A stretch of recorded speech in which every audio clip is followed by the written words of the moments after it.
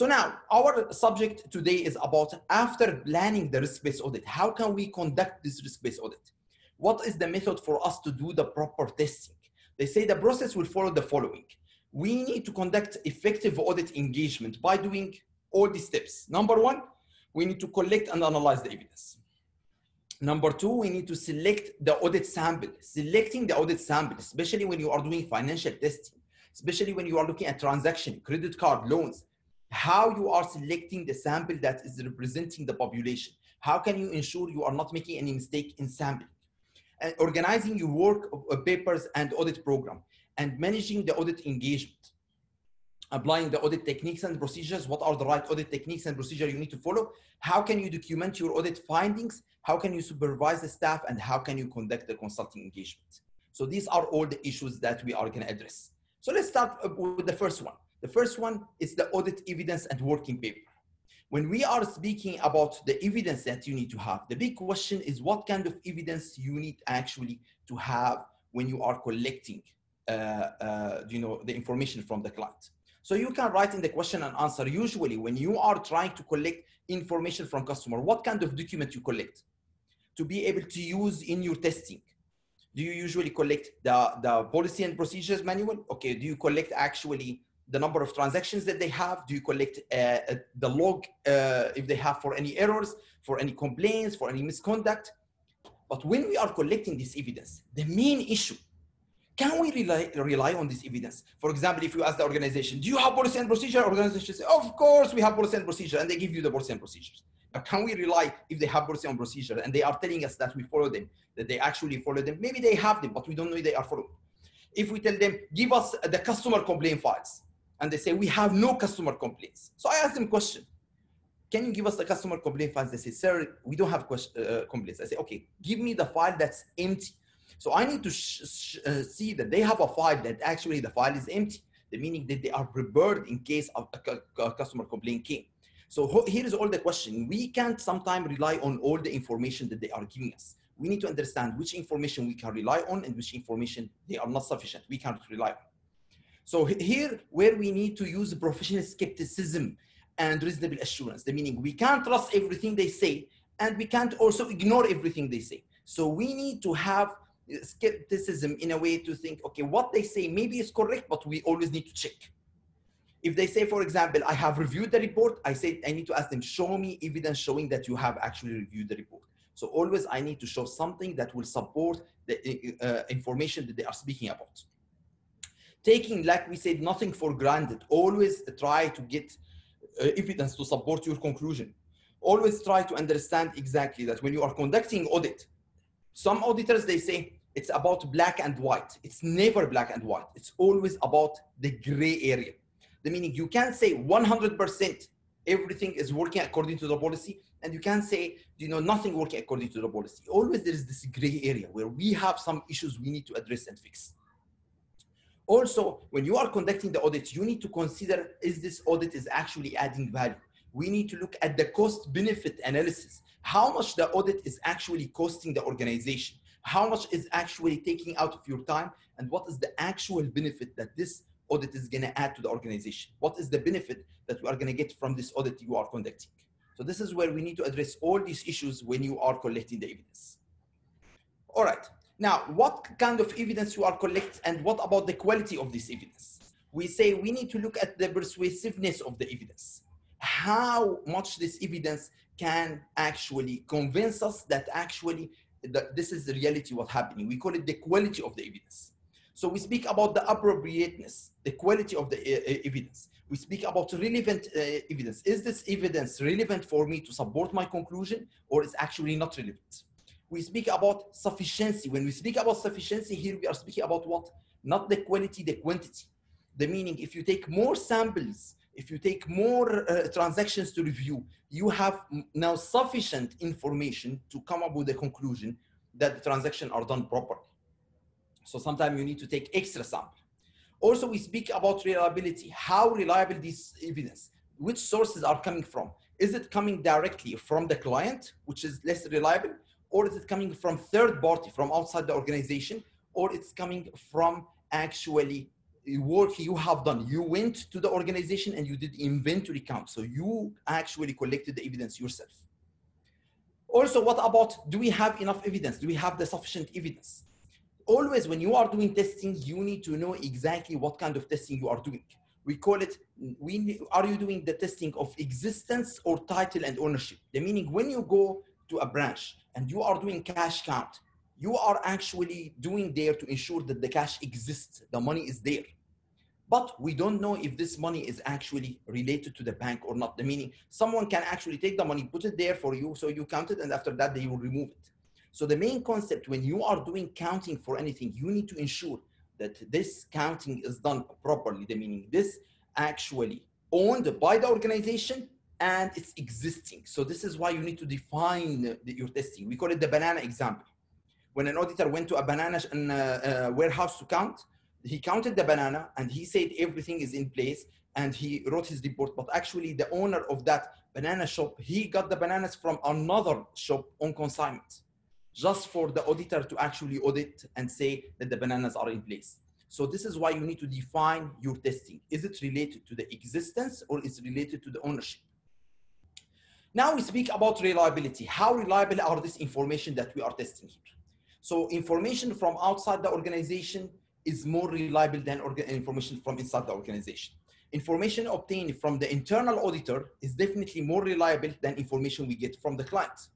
Information obtained with the system of effective internal control is much more reliable than getting it from system where we have weaknesses in the internal control. Also, documented evidence is more reliable than undocumented evidence. What's the meaning documented evidence?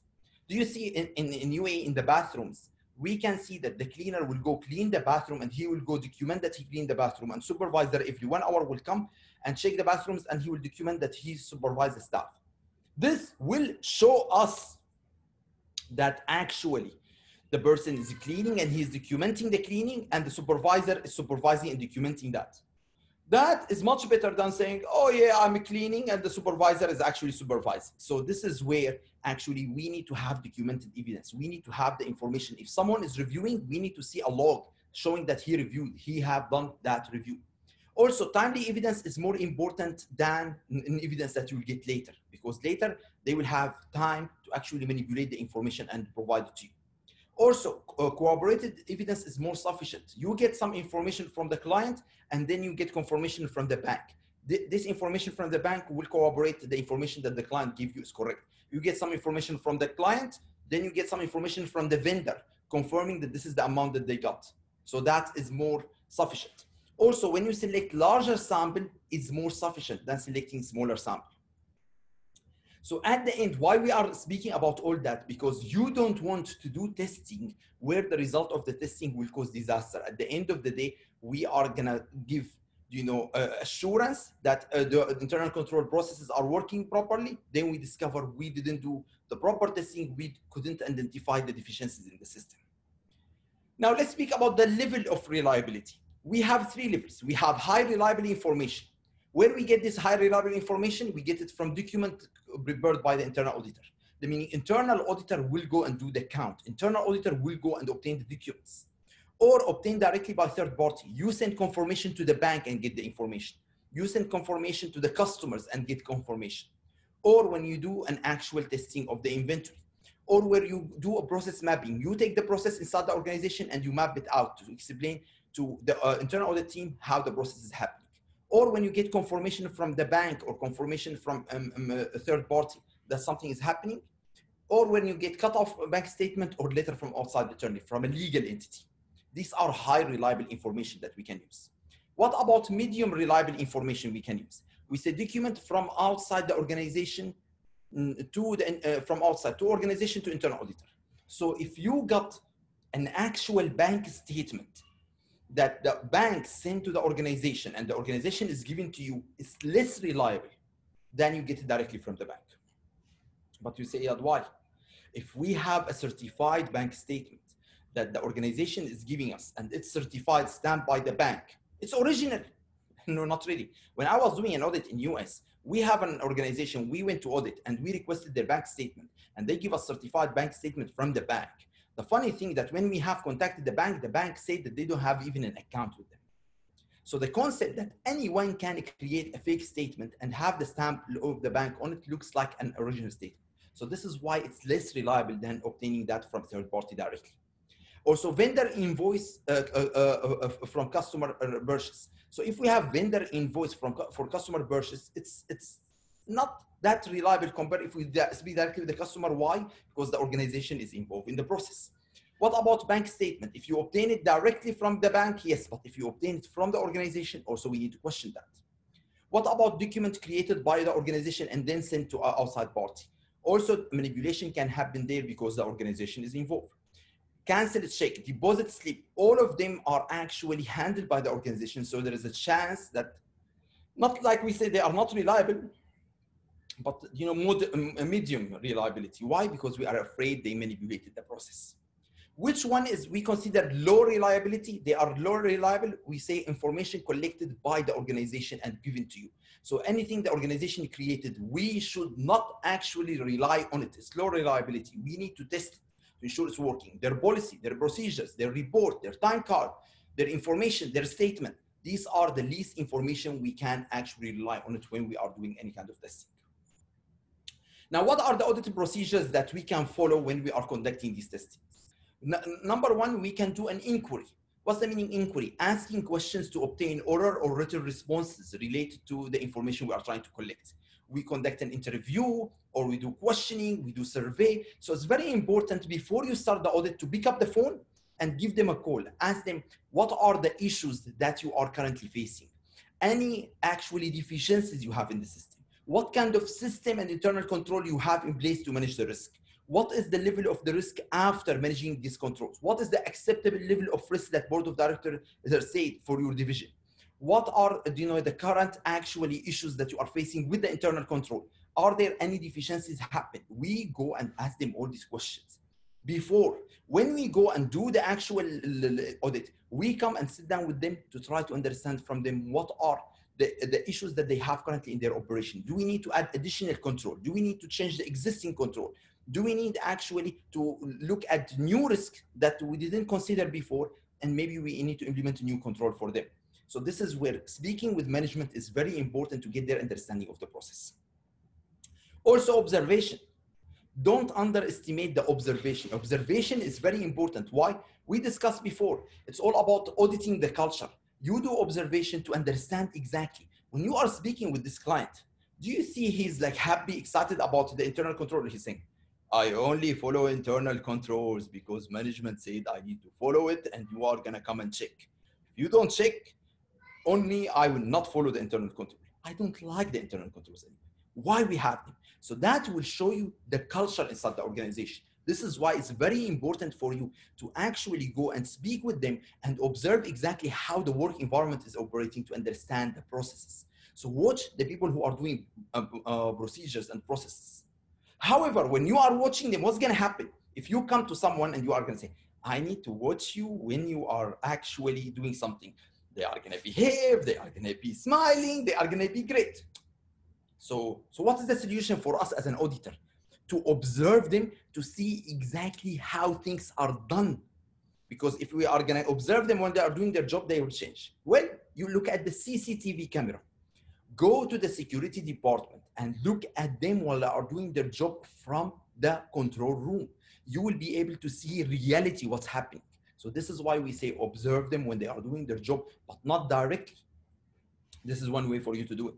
They say only prove the existence and occurrence. It doesn't uh, at that time when you are or watching them. The meaning only when you watch them, we can see that they are uh, doing this behavior, but we don't know what they have done before or what they are going to do in the future because behavior can change but observation is important too. What about inspections? Definitely, we need to go and do an inspection, studying the documents and records and physically examine the tangible resources, not the value. We do inspection, the meaning we say, open the safe, I need to see that the money is there. Someone will open the safe, you see the money is there. But that doesn't mean that the money is the money. Maybe it's fake money, I don't know. Unless you count it but just inspection, you can open it and you can see it's there. It's existing there. But we don't know exactly the value unless we do the counting. And in so many cases, what we are interested in, we just want to make sure that they are there. And later we can do the testing. But now just by opening, ensuring they are there, we know that the, uh, the documents, the inventory, the cash is actually there in place. So this is one of the things we do. We do inspection. We ensure that actually, for example, the locks are in place, uh, we, but we don't know what's inside sometimes when we observe the locks from outside. So uh, another uh, method is called vouching, which is we call it uh, verifying the existence, which is tracking information backward from one document or record to the previously prepared document to test uh, for overstated uh, amount, to test uh, uh, validity. So in that way, we are trying to trace the information to see that actually these transactions, they exist, that happen. For example, sales shipped to actual order sales. So in that way, you are tracking the amount that you shipped or the transaction that you have processed for the document that the customer submitted. So in your example in the bank, you are approving a credit card, you need to go and look at the application. Did the customer fill the application or not? And I will tell you a very simple example for your bank because I applied for a credit card from your bank. I didn't fill any information. The, uh, the customer service representative came to me and he said, sir, I will make your life easy.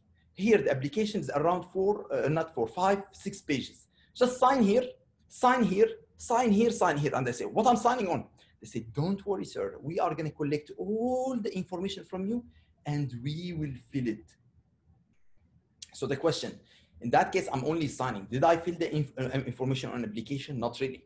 But I'm signing that these are the information correct based on what he filled. But I don't have copy of what he filled the application on. So maybe I signed and I signed and I signed and I have no idea what the person filled. And he got my information and I don't have an idea if he applied me for the right credit card or not, because at the end, you know, I didn't sign for which credit card I'm filling. So this is always the question, what can go wrong?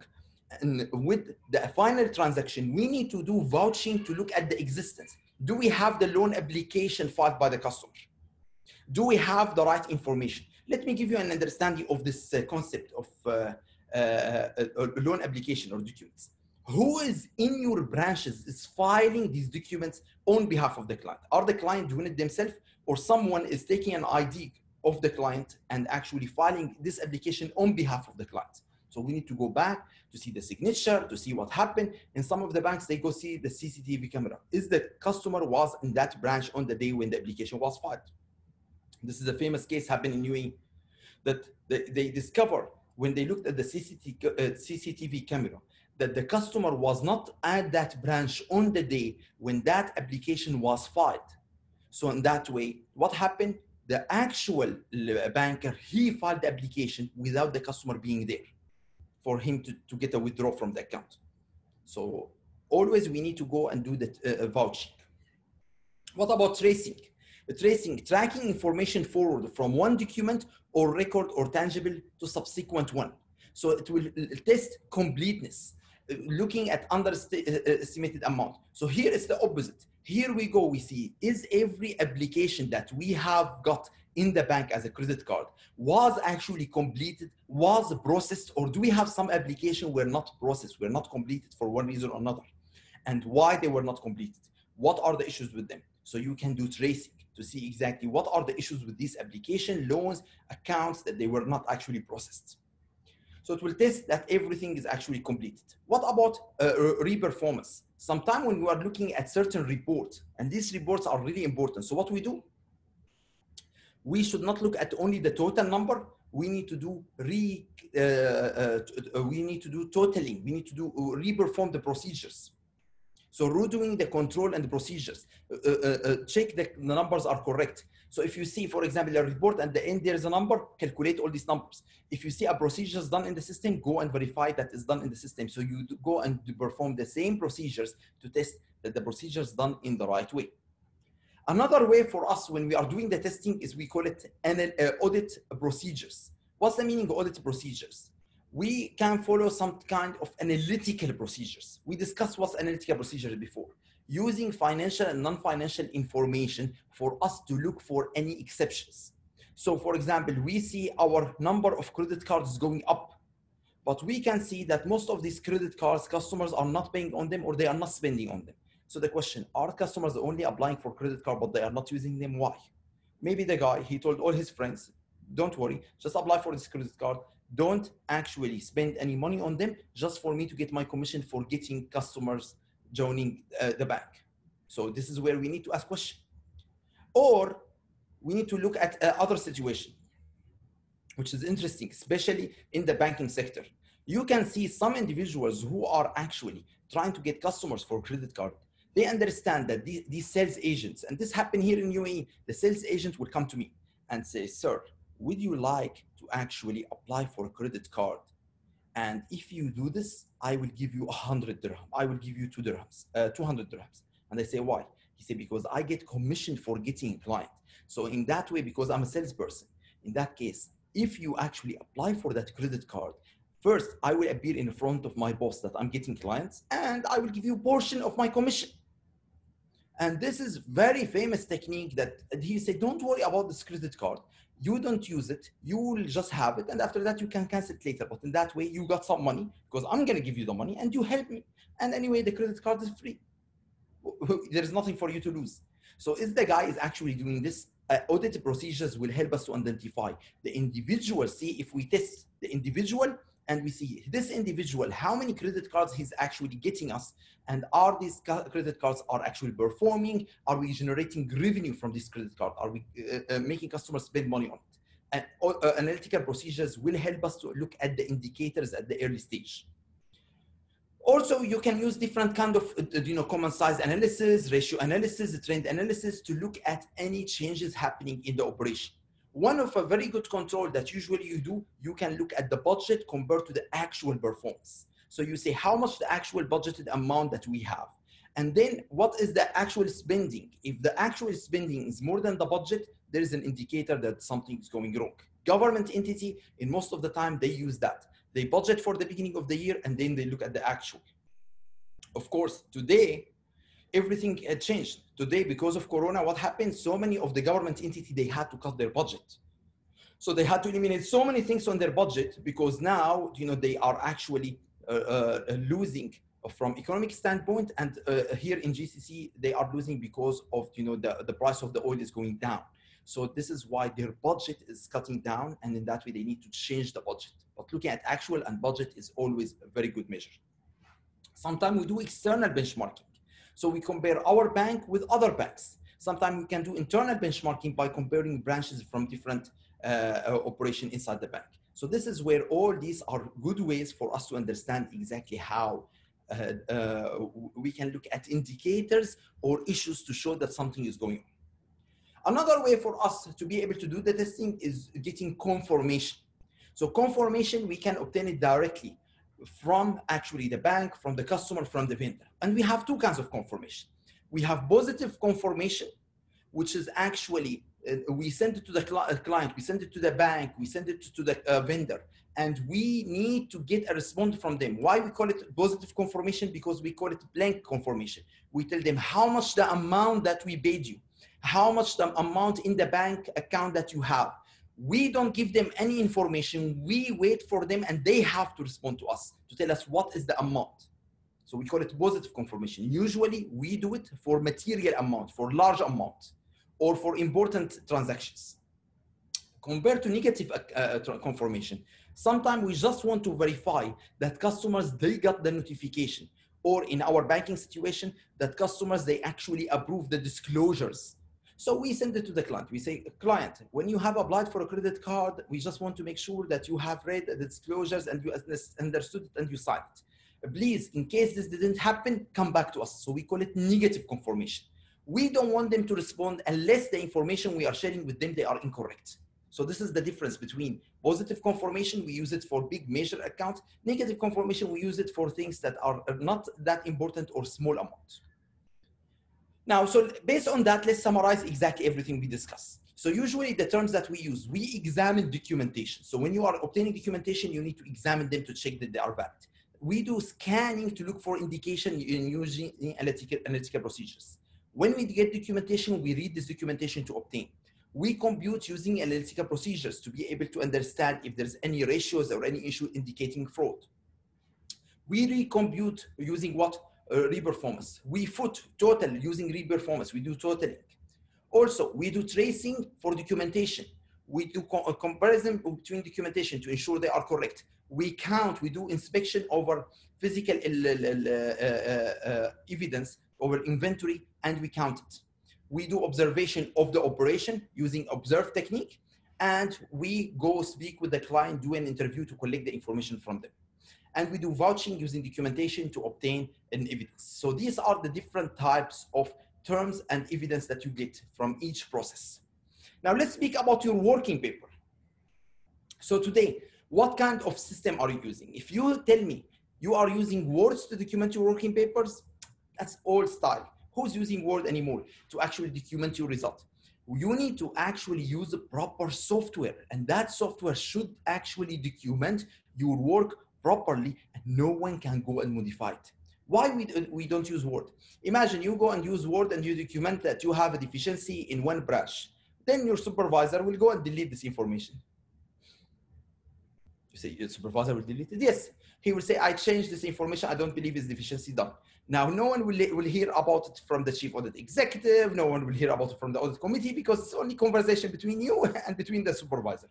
Compare if you have an actual system, anything you document in the system is there, where in real time, the chief audit executive can log in, can see it, where even if someone deleted, there's a backup on it on the server, we can go and look back and see exactly what happened, where actually uh, you can actually ensure that no one can even delete it because for them to delete it or do any of that, that will send notification that there's a deficiency was deleted by supervisor. The chief audit executive can go and look at it and decide if this is appropriate or not. So this is why we need to upgrade our work when we are doing internal audit work by having the proper system in place. In US, we had a very powerful system where everything was documented. And in a way, when I am working on the testing, no one can log into my actually testing or no one can change anything. For me, once I finish the work, I log out and I give the, the authority for my supervisor to review. And any changes he will do, I will be able to observe and see. So this is why, you know, if you have the proper system, our work will be done properly. Compared to now, we have a Word document and someone will update on that Word document, send it to his boss, his boss will update. Sometimes we have 17 version and we are lost. So they say the type of working document that you need to have in place. You need to have documentation related to the nature, existence, and timing of the audit procedures. The meaning for the audit committee, for the board of directors to understand that your conclusion is based on actual testing, you need to explain in your working papers, not in the report, in your working paper, what you have done. So in case actually later, they will ask you what kind of procedure you have done, you have supporting document in your work to say this is the actual testing that we have done and this is the documents we have collected and this is why we reached to this conclusion. Also, you need to actually decide based on that the time, budget, and resource allocation, how we are going to allocate our resources. Working papers will help you by saying, okay, these are the method we are going to test. These are the process that we are going to do. We are going to allocate it between the staff. So it will help you in organizing your work. Also, it will help you in creating questionnaires. We need to differentiate between very important things when we are doing the work, between something called questionnaire and something called survey. When we speak about questionnaire, questionnaire is a specific uh, uh, questions you ask related to the audit. And usually questionnaires, they are long and they have specific information you are trying to collect. Compared to survey, they are general, they are short, they are actually not focused, they are trying just to collect overall information. So usually when we are doing our testing inside our working papers, inside our work program, we have questionnaires. We have so many detailed questions that usually we need to ask the clients or we need to actually answer them by collecting information and evidence from the clients. Also, inside your working papers, you will have your process map. You will take the information that you need actually in your audit uh, uh, from the understanding the process and you document it as a process map. We discussed before, anything more than five, six steps, you document it, uh, as a process map. You can have the charts, the graph, the risk maps, all of them as evidence supporting your, your work inside your working papers. You can have the agenda of the meeting, any narrative memoranda, any information you obtain from the client, and the organization information. Now, guideline related to the working papers and preparation. What you need to do for every working paper that you need to obtain from the client, you need to document important information. What are these informations that you need to document? You need to document the title, the meaning, when you take this document, let's say you take a bank statement, you take a report, you need to document what is the title of this document. So in that way, everyone will understand. But title is not enough. You need to give it a reference number. For, for example, SD1 or REF7, the meaning you are saying reference 7 or source document 1. So you need to give it a reference number. So later during your audit, you can refer to that reference number. And even better, in case you are using digital auditing, once you upload it to the system, you can link it. So the supervisor, he can just click on the reference and the document can open. And even you can write and, and document your testing on that document because if you are using digital system, he will take a scan copy of the document and then he will actually go and add, add another layer on it. We call it testing layer. So that way you can have, you know, uh, uh, what we call cross uh, uh, cross marks. We can you can have reference mark. You can have testing on it. You can have notes. So all that you can do it on the source document as an extra level as a digital copy. So it's very important to have the title and the reference. Also, it's very important to have the date when you have obtained this document. And, and at the same time, you need to uh, uh, mention your initial. You need to sign the document. The meaning you are saying that I was the person who obtained the document. And then your supervisor, after he will review the document, he will sign. So in that way, he is saying, I have reviewed your work and sign off on it. So this is the documentation for us later. So in that way, we will show that we have obtained the document on this day. We have reviewed the document and the supervisor actually signed on this document. So are you using this as a manual base or, or system base? That's the question. What currently are you using manual base or, or system base for you to document this information? You can write that in the question and answer. So if you are using any, any system method or you are using still Word documents and Excel sheet and actually you are having hard copy. When I started in US, we, we were using hard copy. That was like uh, 16 years ago. So 16 years ago, I go to the audit and I will bring a file. You remember these old yellow files? And they have like uh, two holes on top. And I will file the actual financial statement on the file. And then we close the file saying, okay, the statement is filed. And I write on top of the file what is inside and I sign on it. It was funny. 16 years ago, we don't have system. But today we have system. Today we have everything in place. So good. So in that way, uh, you mentioned that you have system in place, which is great today the system is really, really important.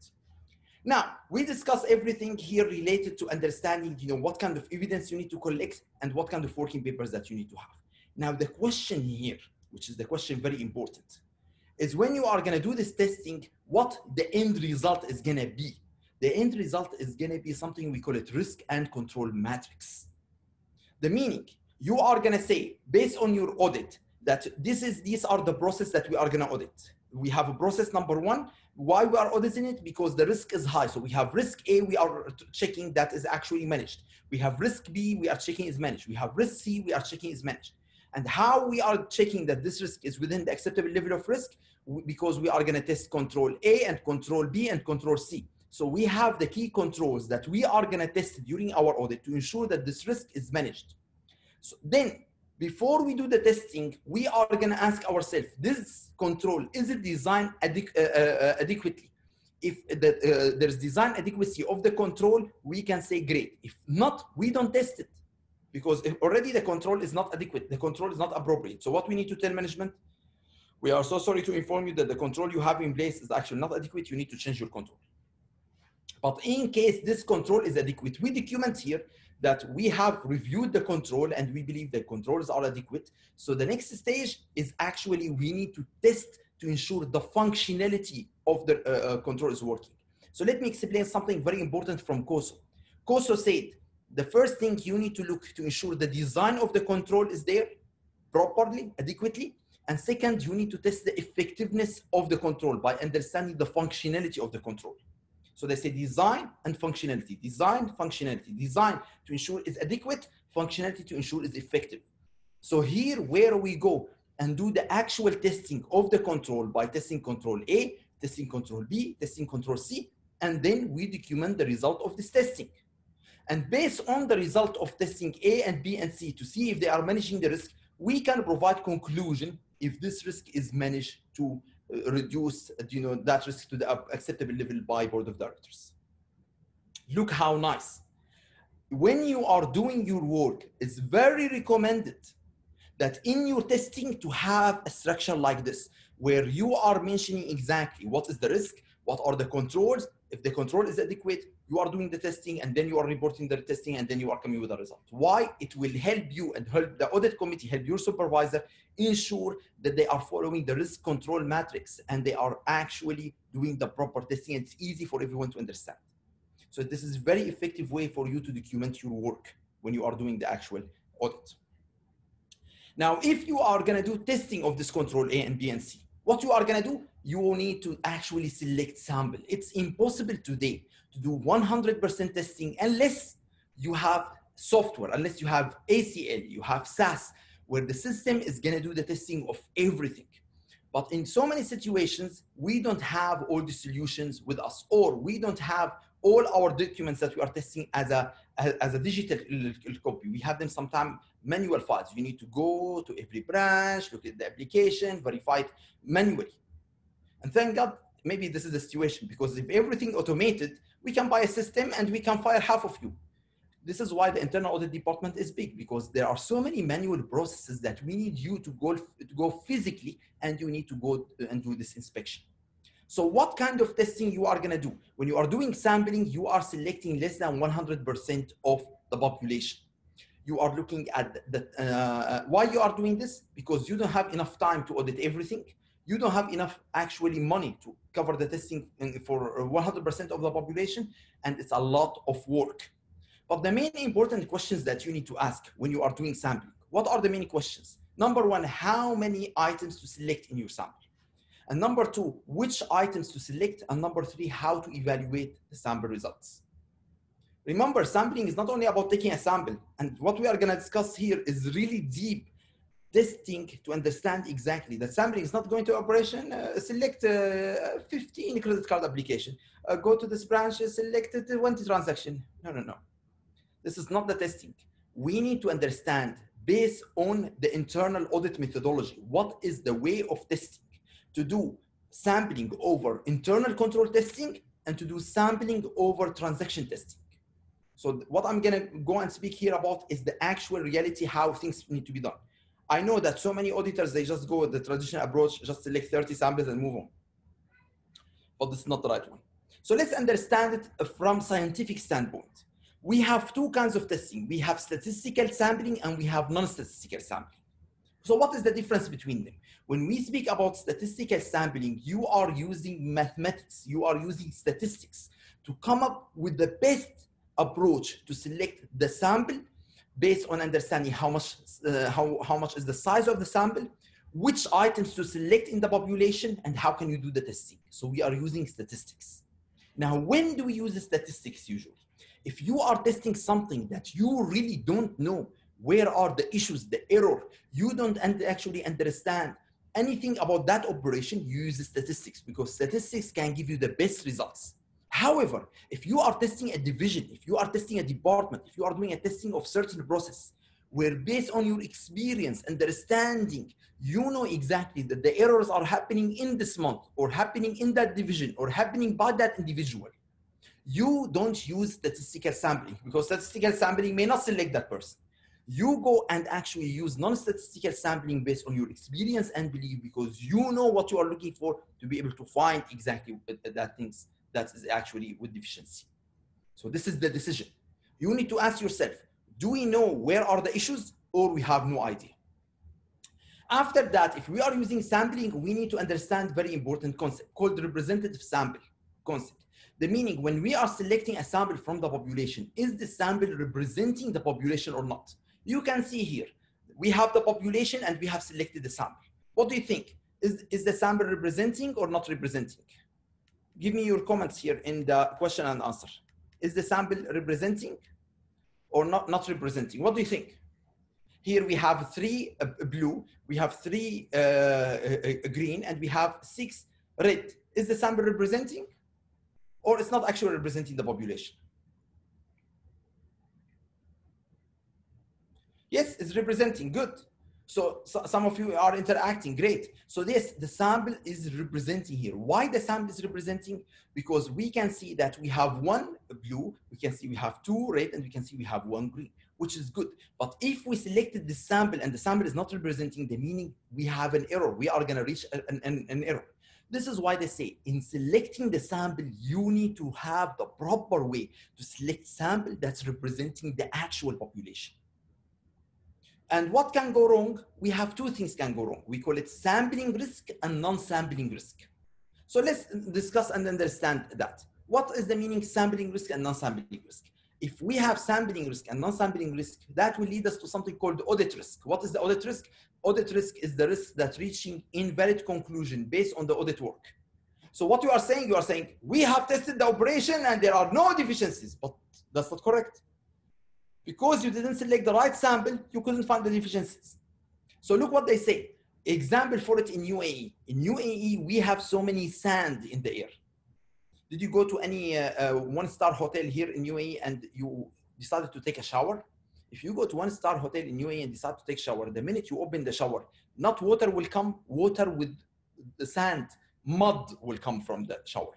Why? Because these water tanks, that they are on top of the building, usually sands can come to them because we are living in a sand a, a, a desert sandy environment.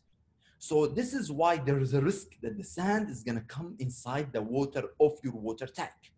So what we do to make sure we manage that inherent risk we implement controls. So they have actually different filters inside that water tank to ensure that that will not allow the sand to reach the water.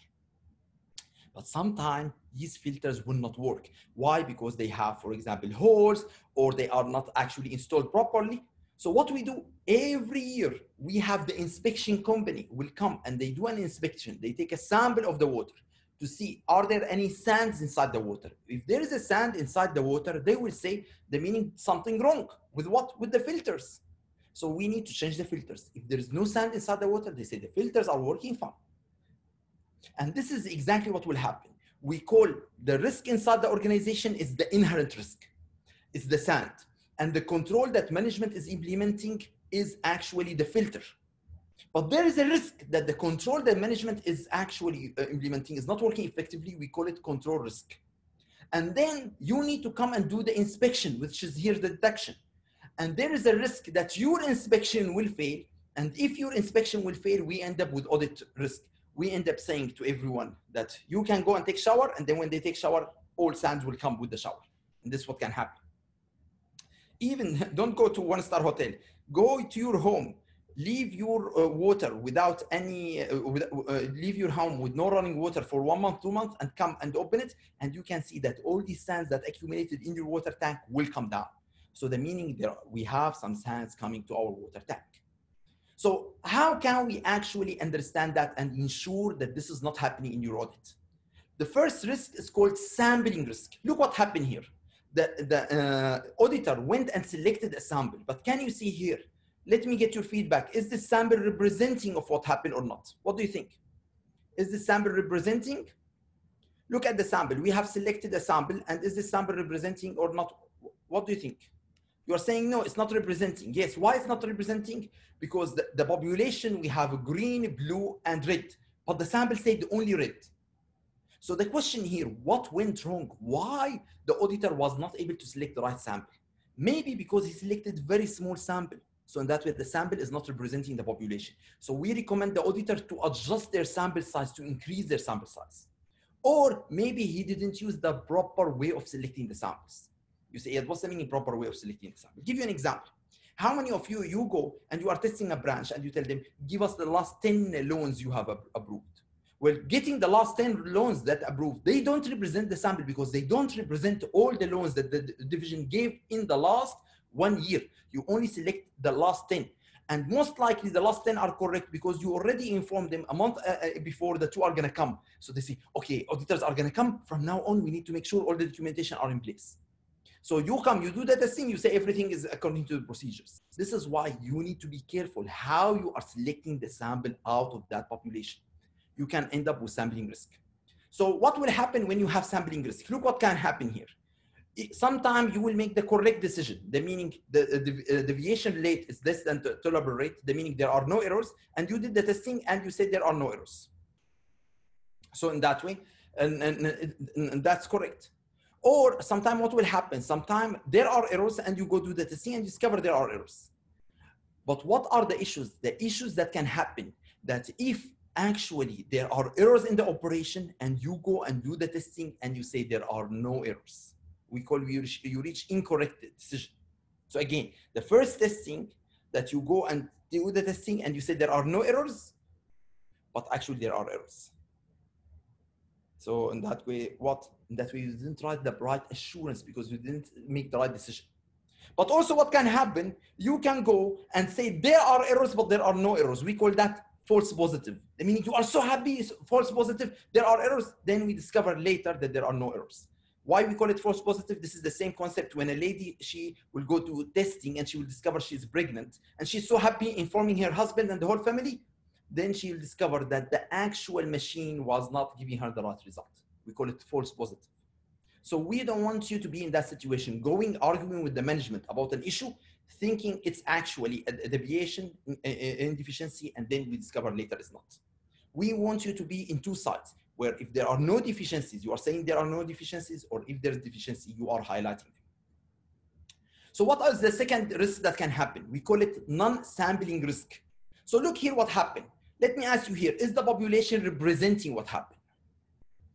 What do you think? This is uh, not the population. Is the sample representing the, the population here? What do you think? Is it representing? Yes, it's representing the population, right? It's representing exactly what happened. But what happened the auditor? The auditor said that all of them are red. What's wrong with the auditor? The meaning the auditor actually failed to recognize the exception. The meaning you have selected 20 credit card application and five of them, the customer didn't sign them. And you say, all the application were signed. what, what happened with your eyes? You are not actually looking and doing the examination. Sometimes auditors will not do the proper testing. They will fail to recognize the exception or sometimes they use the inappropriate tools. So that way, because they are using the inappropriate tools, they will not be able to find the deficiency. The same example of the water. The inspector who came to do inspection of the water, he was not using the right tool. So the results came that there is no sand in the water, but there's a lot of sand in the water. So you need to make sure you use the proper tool. For example, if you are using ACL inside your organization and you are searching for any payment going to Mr. Muhammad, Mr. Muhammad can have so many ways of writing. It can be with O, with U, with two M's. So if you don't apply the right filters, what will happen? You say, we have tested everything and there are no transactions for Mr. Muhammad. So this is what can happen. You need to apply all the filters, all the possible names for Mr. Muhammad because we don't know how it's actually written in the documents. Otherwise, you are going to say, yes, we have tested and everything is okay. And this we call it non-sampling uh, risk. The meaning you have selected the right sample, but when you are doing the testing on it, you failed because you were not actually recognizing the exception or using the right tool. The other thing is very important to ensure that we have probabilistic sample selection. The meaning every sample unit inside your organization, they have the same chance of being selected. Not some of them are available and some of them are not available. Now, let's discuss the sampling technique. How can you conduct uh, uh, uh, testing? We have four way of doing sampling. Number one, simple random sampling. Number two, systematic sample selection. Three, probability proportion to size. And, and uh, finally, stratified sample. Let's go over them one by one. Number one is simple random sampling. So simple, simple random sampling is an easy process, right? So what you do with this process? You are actually randomly gonna select three out of seven so you run random numbers. You can do that with ACL and then randomly we'll select it for. What about systematic sampling? But before I move on, the question here for you as an auditor, when should I use simple random? Because so many of you say, oh, randomly select. No, no, no, no. When should I use simple random? We say when we don't care about the population. The meaning any items in the population, it's okay for us to take it. We don't care about the population. The meaning we do it when we are doing testing of transactions. We don't do it when we are testing a process. We do it when we are testing transactions because we don't care. Any item of the population is okay. But if we are testing a process, if we are testing a, a, a, a procedure, what we need to do, we need to use systematic sample selection. Why we use systematic sample selection? We are testing control procedure process because we need to ensure that the employee every five customers he got one customer doing it right every five customers so if we are testing the a loan officer to ensure he's giving loan properly and he gave 70 loans we are saying every 10 loans we select one. Every 10 loans we select one. So we can see there's consistency over the loans approval process that he's doing. But if we do random sample maybe we'll select the last five loans or the first three loans. We don't know. So we say we use a systematic sample selection when auditor is trying to look for item over a certain period of time. So most of the time, if you are testing a process over a period of time, or you are trying to look at the sequence of the transaction, every five transactions you select one, use systematic sampling. Like here, one, two, three, uh, uh, four, we select. Five, six, seven, seven, we select. So that we use systematic sampling. What about probability proportion to size? This is interesting testing. I don't know if you do this, but in the banking sector, they use it a lot. Probability proportion to size is by focusing that our testing, especially in the bank, should not be on the number of transactions. Because number of transactions doesn't mean anything. What we need to look at the dollar amount. The meaning, think about it like this. Every time our bank is giving 1 million dirham loan, we need to check that loan that make us reach to 1 million to actually check if it's processed properly. Because in that way, you are providing assurance to the bank. Let's say your bank give uh, this year, uh, for example, seven, uh, 7 billion loan. So that with 7 billion, you are saying every 100 million loan, we take that loan that make us reach 100 million, we test it. Then 200 uh, million, we take that loan, make us reach 200 and we test it.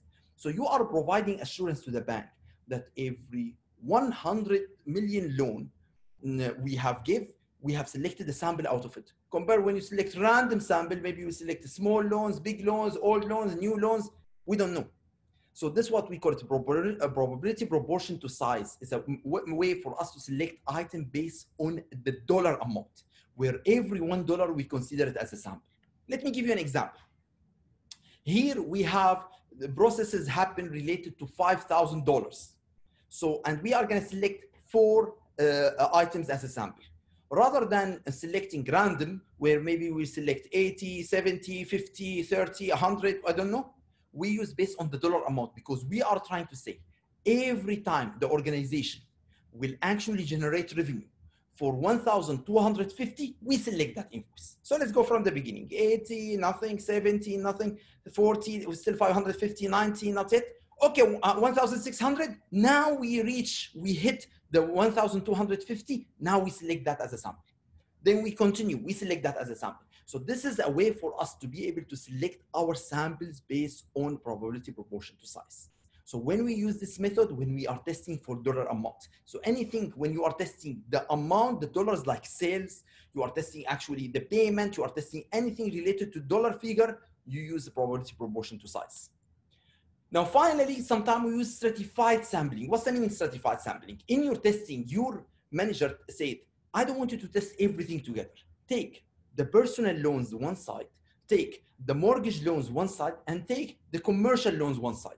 And that way, you are separating the different types of loans. We are not looking at all the loans, we're looking at the different kinds of loans and we are selecting samples from each type of these loans. So in that way, we are making sure our sample is representing all the different kinds of loans. So we call it classified, stratified sampling when you are dividing the population into subpopulation and you are selecting samples from this population for you to do the testing.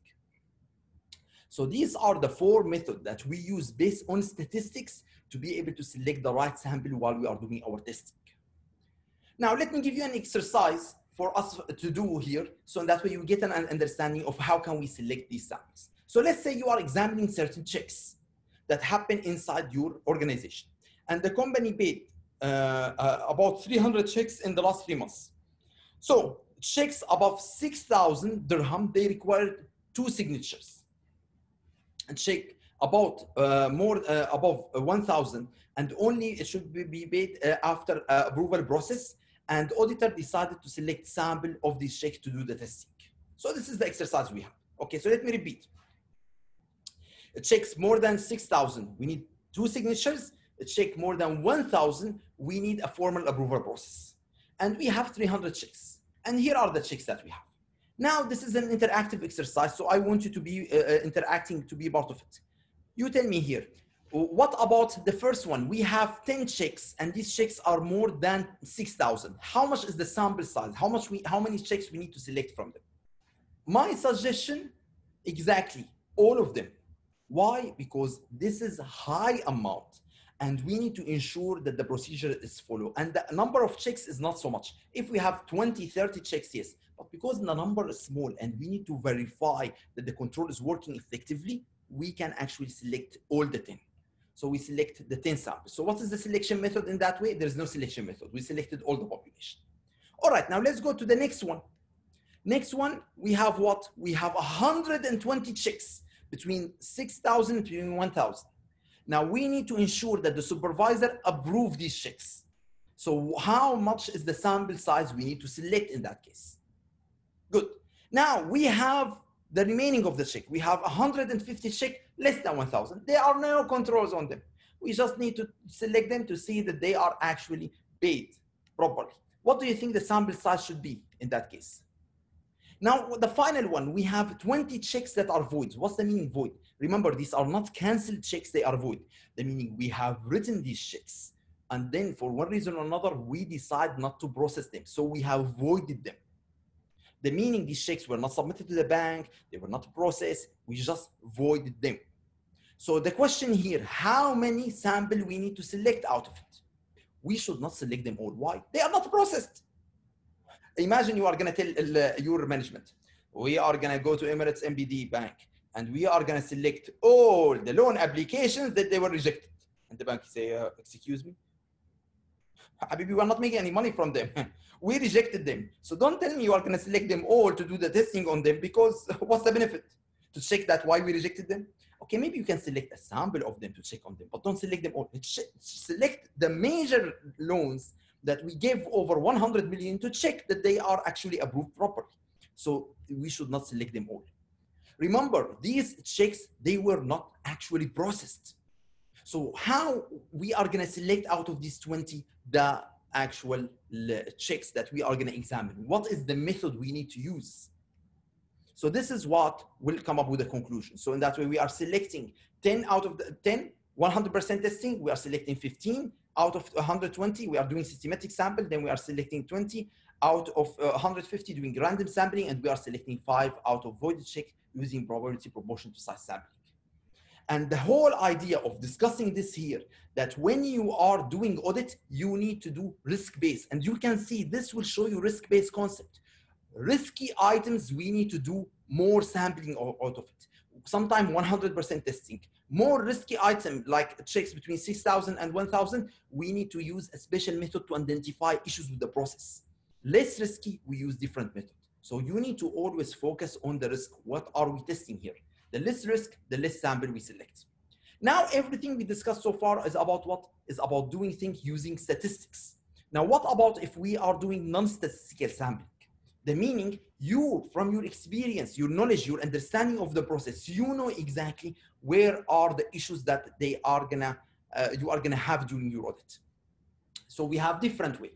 The first one, we call it direct sample selection.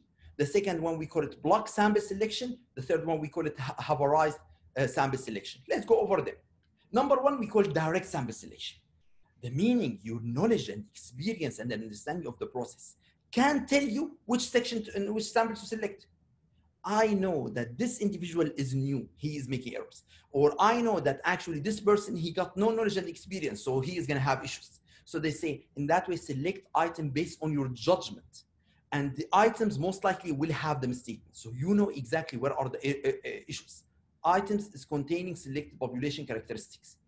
Very simple example of it when you go to an audit, you say, we are gonna look at the loans with high amounts. Why? Because these loans with high amounts, most likely they are critical, they are important, and there are so many chances that there are some issues in them.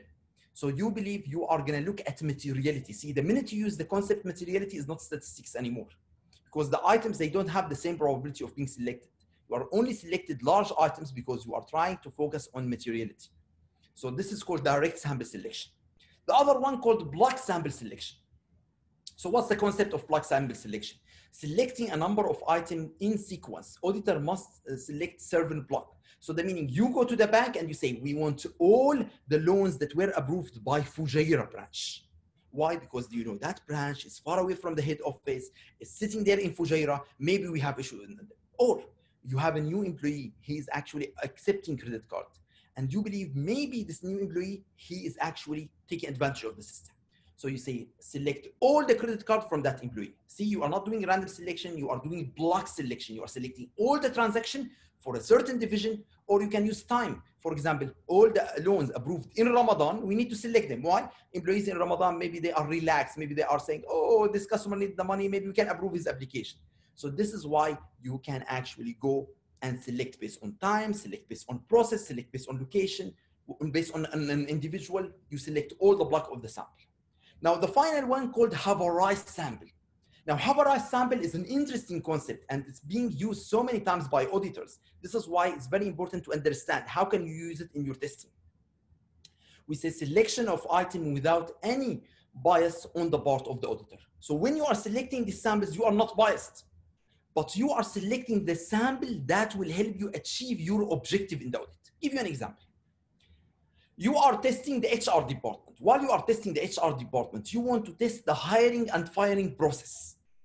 Now, you are testing the hiring and firing process. What sample you should select? You say, well, the organization, they hired around 1,000 employees over the last three years. Let's do statistical sampling. No. Why not statistical sampling? Because if you do statistical sampling, you may get some employees that we hired three years ago. And these employees, maybe they already left the organization. Or maybe three years ago, the HR, they were not following the policy and procedures. So in that way, you are going to blame them about what happened three years ago. So what we do, our objective as auditors is to ensure that HR today is following policy and procedures. So how can we check that HR today and tomorrow they are following policy and procedures? We tell HR, we need a sample of the last 10 employees that you have hired. So if we go and select the last 10 employees that they have hired and we ensure that they are actually following the policy and procedure and they are hiring them in the right way, we select the last 10 employees that they have uh, that they have fired and we check that they are doing it in the right way. That will give us assurance that today the business process is being followed properly. So sometimes we have to select a sample that will help us in achieving the objective, not based on any bias. The meaning we don't know where are the issues. We are just selecting a sample that confirming exactly what's going on with us. So this is the haphazard sample selection. Now the question that we need to answer, do we have different kind of testing for us to do related to sampling when we are speaking about testing internal controls and testing transactions? The answer is yes. When you are doing audit testing, you need to figure out what is the proper way of testing internal control. We call it compliance testing. And what is the proper way of testing the transaction? We call it substantive testing. And what is the other method of testing balance accounts? If you are testing an actual amount on the balance sheet, actual amount in a financial report. So let's go and understand what are the different methods that we use for, uh, uh, uh for us to do sampling when we are doing testing of internal controls compared to transaction. So the first thing, if you are testing internal controls, there is a special way of testing the internal controls. If you follow, will make your life easier. The first question you need to ask, do we believe there is a fraud happening in that process? The meaning, if you have heard or if you have uh, uh, noticed any, any issues that will indicate maybe there is a fraud, or if there are actually fraud happened recently, and you believe there is a fraud, you need to do completely different testing related to the internal control compared if you believe there is not, no fraud, not, nothing happening. So the first question, if you suspect a fraud, you go and you use discover sampling. What's the meaning discover sampling? Discover sampling, the meaning you are gonna go and test one by one. See, it's not sample. We're gonna test transaction number one, transaction number two, transaction number 300, 700, one by one until you find at least one transaction that is not following the policy and procedure and say, ah, there's a loan, was actually approved, and we don't have supporting document for the seller certificate. We found it. So that's an indication that something wrong with the internal control, fraud. Someone is actually doing something and he is taking advantage of the system. He is taking maybe bribe from the customer, we don't know, but this is where we need to send it to investigation. Why this person approved a loan without supporting documents? So if you believe that there is a fraud involved, you need to select sampling. Now someone will ask, ask me, are you going to do 100% testing? No, no, no, no, no. Statistics will say if you do 70 to 80% testing of the population and you found no issue, you can provide reasonable assurance. See, it's not 100%. Reasonable assurance that uh, with a 95% confidence that actually there, uh, there are no uh, fraud found so far. So this is what, what you do one by one, one by one. There's no statistical sampling anymore. This is if we believe there is a fraud. Now, what if we don't believe there is a fraud? We go to the next item. Do we expect low error rate or high error rate? Now, someone will ask me, Iyad, what do you mean do you expect low error rate or high error rate? Let me give you an example. Last year, you have audited HR. And when you audited HR, you notice there are so many errors, so many issues. So if you are going to audit it this year, what do you are going to expect? You say, of course, there are so many issues. But if you audited HR last year and you notice they follow the procedures, hardly there are any issues. And today you are auditing them again. Should you also select 20 employees to do the testing? The logic will say no. Why? Because you are wasting your time. You already audited them last time and you selected a large sample and there's no issue. So what is the right approach? We call it stop and go. Stop and go approach is very interesting when you are doing testing, especially inside the bank. Why? Because it will help you save time. The concept of stop uh, and go is the following. You are going to say that the error rate should be less than 12% and the population is 50. We are not going to select 20 out of the population. No, you select a small sample. If in the small sample we don't see any errors, we move on. If we see some errors, we expand the sample. If we see no errors, we stop. If we see more errors, we expand the sample. The meaning, why are you going to waste your time and select from the beginning large sample, and then you discover there are no errors? No, select a small sample. If they have errors, you expand. If they have no error, you go. This is why we call it stop and go sample. So let's go in an exercise. We selected 10%, which is five. We say, okay, okay, oh, we have one. So in that way, we have one out of uh, five. So we say the error rate is 20. So what we can, in that case, we say, well, maybe there are more errors. We expand, we select more. We select 10. 10 out of 10, only when there's error, so it's 10 percent, so we say we stop. So the main concept is don't start by selecting large sample. If you believe based on your previous testing that most likely the amount of error is gonna be not so much, for example, you audited that branch last year and everything is okay. This year, don't come and do the same testing you do on a branch that they have error. No, go select less sample. If you see there are no errors, move on. If you see some errors, expand your sample. That will save you time. That will help you manage your resources properly. All right, now what if you believe they have a lot of errors? In that case, we use attribute sampling. So attribute sampling is the method. Let me explain to you what's the meaning of attribute sampling. Attribute sampling, remember, we are testing internal control. When we are testing internal control, before we start the testing, we need to ask what are the attributes that can define that this is deficiency. What's the meaning attribute that will define something as deficiency? For example, this clicker that I have with my hand how can the organization say that we have deficiency? For example, if the logo was not printed on it, the organization maybe say it's deficiency, this is out. Or maybe actually if, if, if, it's broken from one side, they can say it's deficiency, it's not correct. Or if the coloring was not done properly on it, there are some white spots, they say this is deficiency. So because we are doing testing of internal control, we need to say what are the deficiencies that can have inside the internal control that can lead us to say that this control is not working properly. This is why we call it attribute sampling. Let me explain it more by going over an example of attribute sampling. So attribute sampling is statistical method used to estimate the population rate of occurrence, the characteristics in the population, meaning what items we consider as deficiency when we are doing transaction give you an example in your uh, bank operation.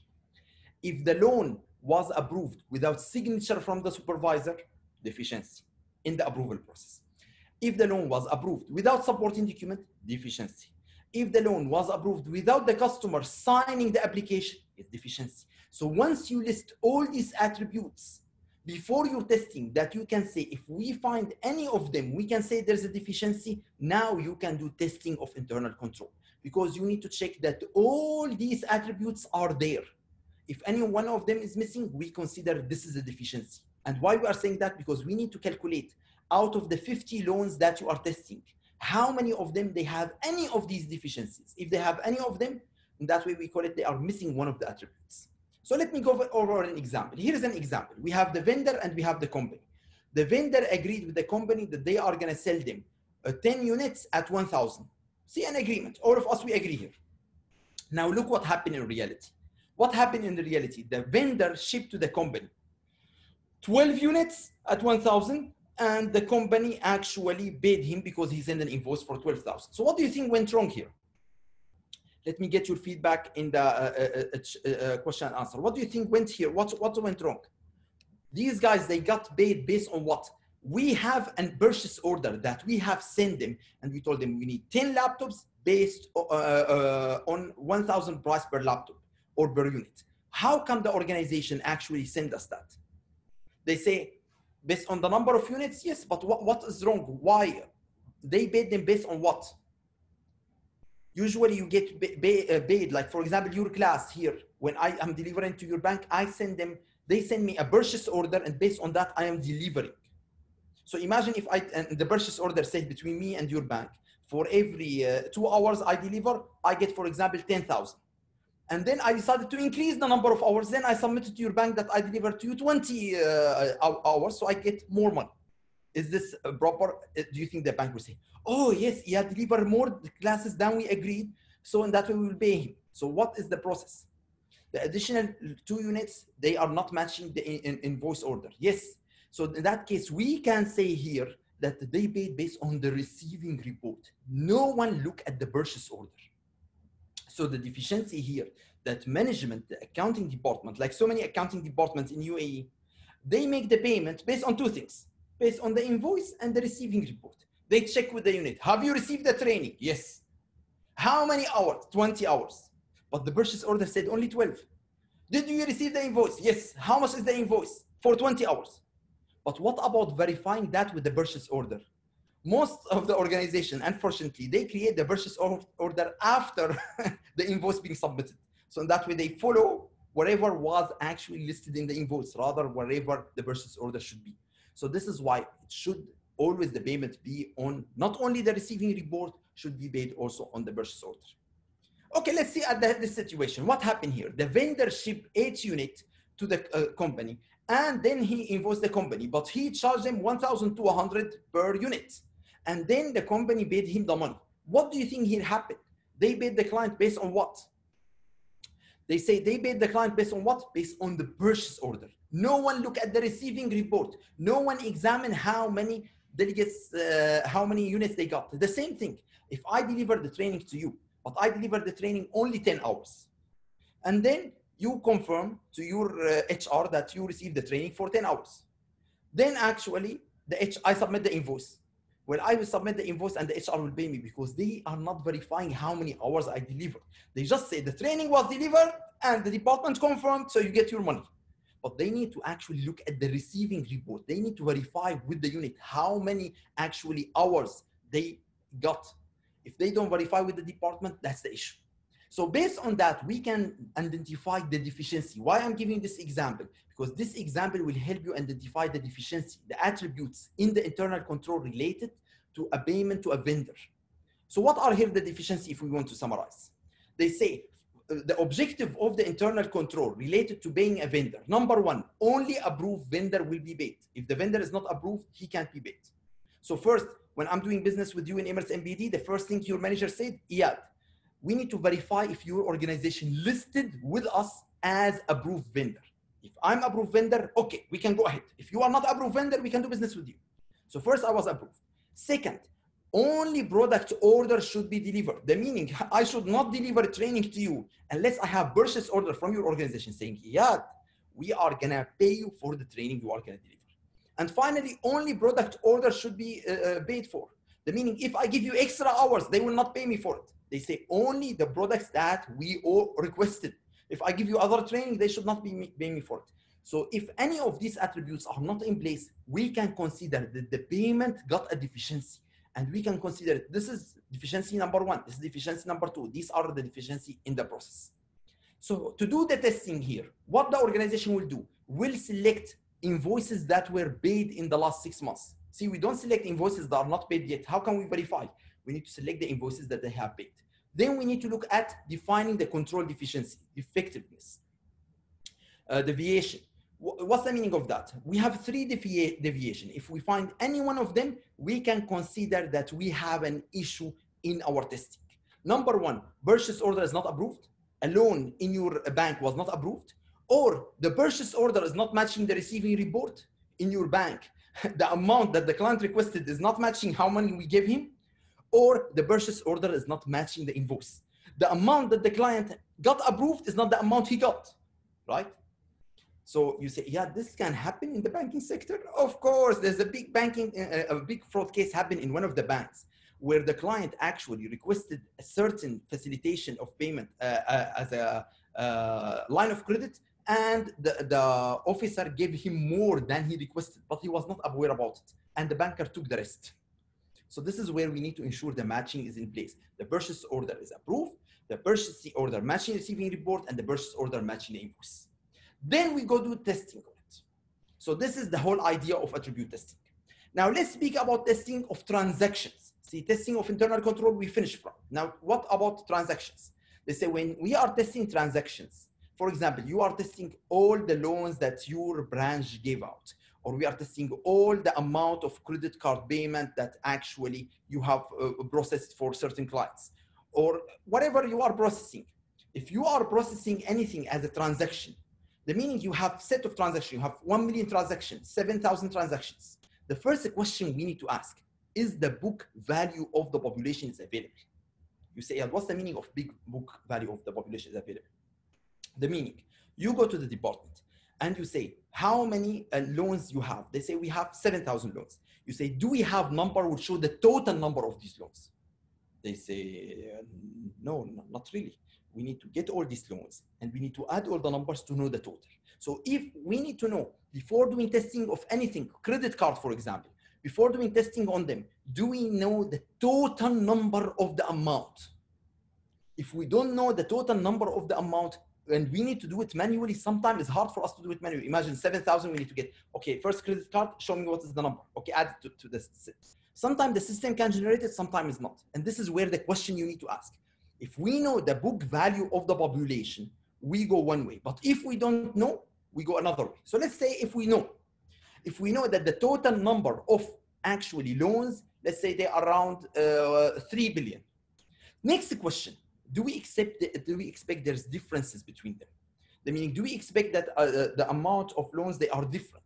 If we believe the amount of loans are different, we use monetary sampling, unit sampling, for us to be able to see exactly the meaning the way that we uh, do it in that case, if we believe there is a difference or there is no difference. For example, give you a very simple example so you understand. If we are offering special loan, saying that you can come and apply for a loan, it's only 10,000 and that's the loan 10,000. So if in that way, all the customers are gonna get 10,000, 10,000, 10,000, 10,000. So it's easy for us to do the testing on that because we are trying to verify that actually they apply for 10,000 and they got 10,000. So this is why we use monetary unit sampling by looking at exactly how much they got and we don't expect differences between them. But if we have differences, the meaning one person will get 20 million, one person will get 1 million, one person will get 100 million. So what we will do, we will use monetary uh, um, uh, per unit, or we use difference or ratio estimates. So let me explain that so you understand. Let's speak with ratio estimates. We will come back to difference, but it's just uh, easy to understand. Let's say that your bank is giving 3 billions. So we know the total amount, great. And we know that the amount are not similar. We have small loans and big loans. What your testing is saying, let's select out of these loans that we give, let's say they are uh, 30,000 loans.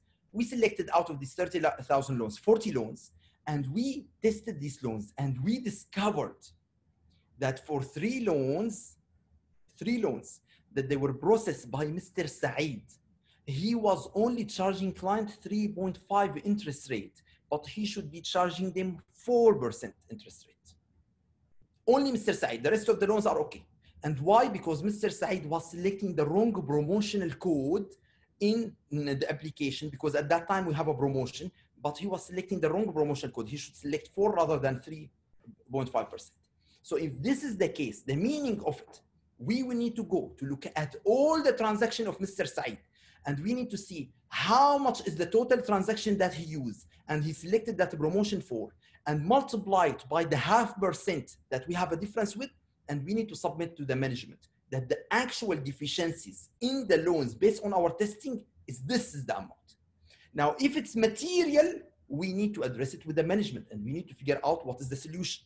If it's immaterial, we just say in that way, we have issue in processing that transaction and he need to actually make sure he's processing it right in the, right, in, in the future.